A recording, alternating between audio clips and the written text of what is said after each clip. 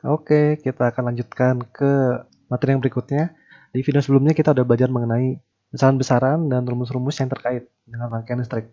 Ini jadi yang modal kita ada hukum ohm, ada rumusan seri resistor, paralel, dan daya disipasi. Nah, nanti ini kira-kira modalnya untuk mengerjakan analisis rangkaian sederhana. Ini nanti kita akan bahas beberapa soal dan modal kita adalah ini. Oke, kita langsung aja ya. Kalau gitu masuk ke soal yang pertama. Ini dia. Jadi pada rangkaian listrik berikut, tentukan arus listrik yang mengalir di setiap resistor dan daya disipasi di setiap resistor. Oke, ini sebenarnya sejalan sih hitungnya. Kalau kita bisa hitung arus listrik I di tiap resistor, kita pasti bisa hitung daya disipasinya. Tinggal pakai rumus yang ini aja, P sama dengan I kuadrat dikali R. Oke, jadi ini kedua poin soal ini sejalan. Oke, ini rangkaian listriknya seperti ini, campuran seri paralel, lalu di sini dihubungkan baterai 10 volt, Nah, nanti cara menyelesaikannya ini mirip-mirip dengan soal yang pernah dibahas di kapasitor. Jadi nanti masing-masing akan dicari kombinasinya, lalu nanti kita akan mundur ke belakang. Oke, langsung saja ya. Jadi pertama-tama kelihatan di sini 4 ohm dan 2 ohm ini disusun secara seri. Kalau di seri gampang rumusnya, tinggal dijumlahkan aja. 4 tambah 2 jadi 6. Nah, kita gambarkan rangkaian hasil kombinasi seri ini. Yaitu jadi kayak gini. Nah ini dia. 4 tambah 2, 6. Oke, simpel ya. Kemudian 6 dan 4 ini paralel. Jadi bisa digabungkan juga kalau paralel pakai yang satu per satu per. Itu nanti rangkaiannya setelah di paralel yang ini akan jadi seperti ini. Oke, ini dia jadinya 2,4. Ini bisa dicek ya. Berarti ngitungnya tinggal 1 per RP sama dengan 1 per 6 plus 1 per 4. Sama akan menyebut Lalu jangan lupa dibalikan lagi. Kita akan peroleh 2,4 ohm. Terus 2,6 dan 2,4 ohm ini seri. Jadi tinggal ditambah aja. Ya kalau ditambahkan jadi 5 ya, 5 ohm. Maka rangkaian kita jadi seperti ini. Oke, jadi kayak gini ya. 5 ohm. Nah, dengan demikian rangkaian kita sederhana banget. Tinggal sisa satu baterai dan satu resistor. 10 volt, 5 ohm.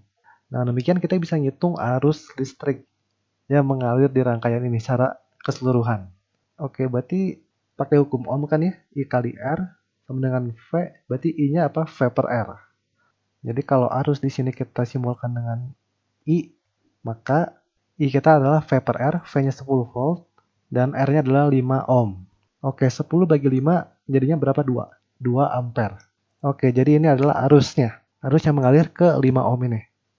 Nah, oke kita tahu bahwa 5 ohm ini tidak lain adalah gabungan dari 2,6 dan 2,4. Oke? Dan 2,6 dan 2,4 itu adalah kombinasi seri. Kalau seri yang sama adalah arusnya. Jadi arus di sini dan arus di sini sama-sama I yang adalah 2 ampere. Jadi kalau kita mundur ke rangkaian yang ini, ini arusnya 2 ampere yang mengalir ke 2,6 ohm juga yang ke 2,4 ini juga 2 ampere gitu. Jadi kalau lihat kerangkaian aslinya 2,6 ini harusnya adalah 2 ampere ketemu kita ya untuk satu hambatan. Tapi yang hambatan yang lainnya belum nih. Oke sekarang lanjut ke 2,4 kita lihat 2,4 ini tidak lain adalah gabungan paralel dari 6 ohm dan 4 ohm ya. Yang ini nih. Oke jadi 2,4 ohm kita hitung tegangannya Kenapa? Karena ini nyambung dengan yang ini kan. Dan ini paralel. Kalau paralel, yang sama adalah tegangannya. Ya udah, kita cari aja tegangannya. Oke, berarti kita cari tegangan di 2,4 ohm. Caranya adalah pakai lagi rumus, ini ya rumus hukum ohm. V sama dengan I kali R. Tapi terapinnya yang di sini aja. Jadi R-nya pakai 2,4, I-nya yang 2 ampere. Sebutlah tegangan di sini V1 gitu ya. Oke, V1 berarti sama dengan I kali R, I-nya 2 ampere, dikali dengan R-nya 2,4 ohm. Ini kan ya, 2 kali 2,4 jadinya berapa? 4,8 volt ya. Oke, ini adalah tegangan di 2,4 ohm. Kita tandai ya, jadi ini tegangannya adalah 4,8 volt. Yang adalah sama dengan tegangan dua resistor ini, 6 ohm dan 4 ohm. Yang ini 4,8 volt, juga yang ini ini juga 4,8 volt karena paralel. Oke, kalau gitu kita bisa ngitung arusnya dong. Karena udah tahu tegangannya. Misalnya yang tadi ya, ini kan namanya I ya. Namanya I, ini namanya I. Berarti ini juga I kan namanya. Di sini mereka pecah jadi dua. Sebutlah yang atas itu I1, yang bawah I2. Oke, berarti I1 dan I2 bisa kita cari. Tinggal pakai hukum Ohm lagi. Hukum Ohm tapi di masing-masing resistor ini. Oke, jadi untuk I1 berarti apa? 4,8 volt dibagi 6 ohm. Gini ya, yang I1 4,8 volt dibagi 6 ohm, hasilnya 0,8 ampere. Lanjut, yang I2 berarti apa? 4,8 volt dibagi 4 ohm. Berarti jadinya gini ya, 1,2 ampere jadinya. Oke, kita dapat tuh, itu I1 dan I2-nya.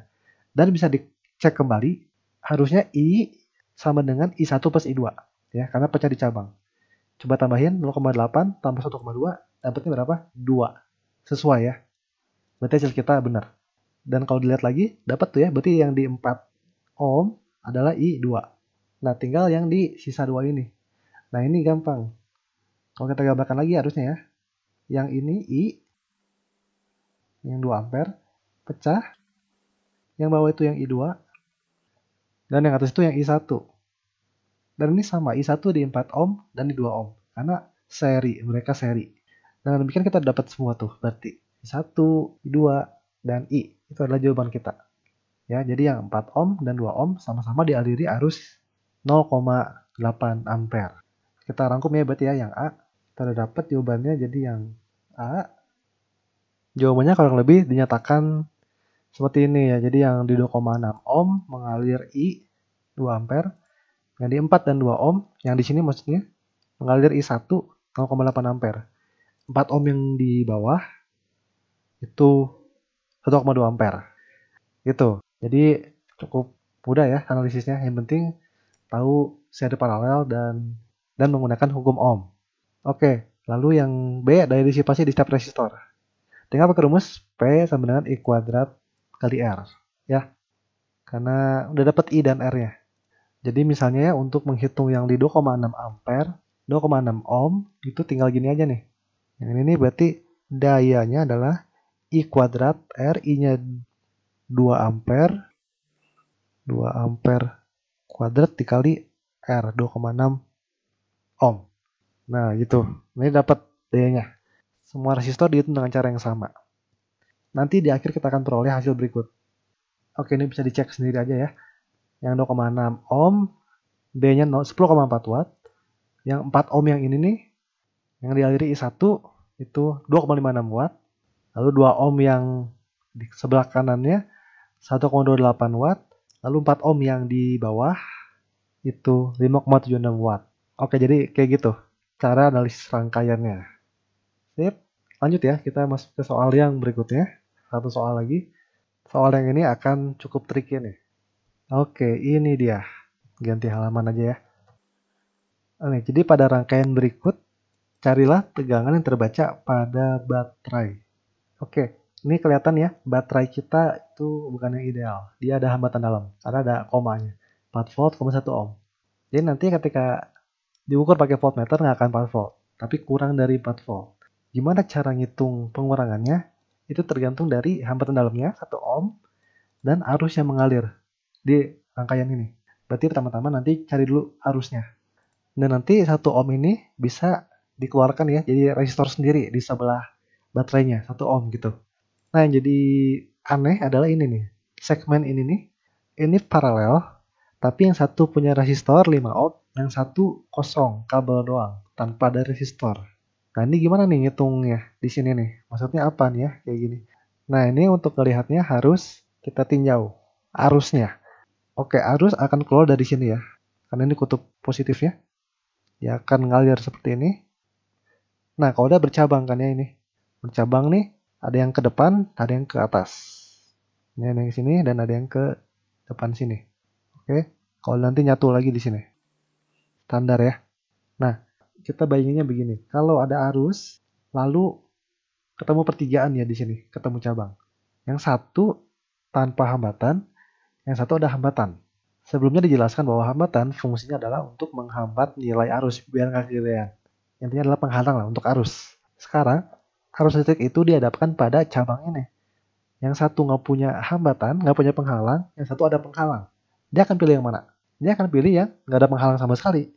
Jadi semua arus akan ke sini semua. Nggak ada yang lewat resistor. Dia nggak mau. Karena kalau bisa nggak ada resistor, kenapa enggak gitu? Jadi nggak akan ada arus yang mengalir ke 5 ohm. Jadi bisa dianggap 5 ohm itu nggak ada. Kita bisa coret istilahnya dari rangkaian kita. Gitu. Nah kalau yang ini, ini kan bercabang juga.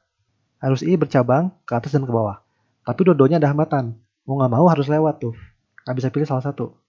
Kalau ini kebetulan salah satu kosong. Dia bisa milih salah satu aja. Yang kosong itu. Oke, jadi 5 ohm dihilangin. Dan 1 ohm ini dijadikan resistor sendiri. Maka nanti rangkaian listrik kita jadi sederhana banget. Yaitu jadi kayak gini nih. 4 volt sampai 1 ohm, ini 7 ohm. 5 ohmnya kan udah dihilangin ya, nggak ada. Kita bisa dapat I dengan sangat gampang. Oke, misalnya ini I harusnya ini kelihatan 7 ohm dan 1 ohm satu kabel, jadi ini seri. Oke, harusnya sama semua seri. Kita hitung I-nya sama dengan pakai hukum ohm ya, V per R, V-nya 4 volt, lalu R-nya adalah dijumlahkan ya, kan seri, 7 tambah 1, 8 ohm.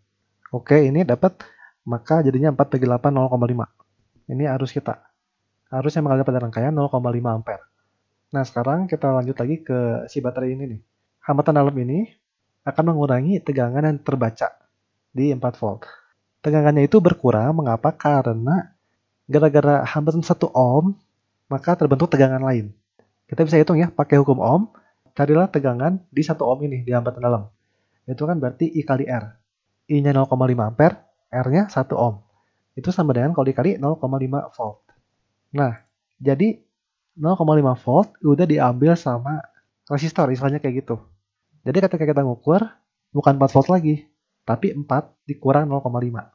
Oke ya, jadi V yang terbaca pada baterai, ketika pakai voltmeter, 4 dikurang 0,5. Ini adalah 3,5 volt. Gitu. Karena ada hambatan dalam ini. Hambatan dalam ini membuat ada pengurangan tegangan 0,5 volt. Jadi gitu kira-kira cara ngitungnya.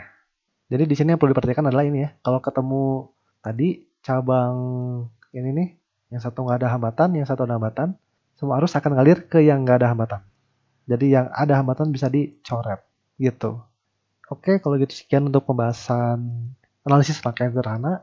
Semoga ini membantu untuk pemahaman kalian. Sampai jumpa di video berikutnya. Terima kasih.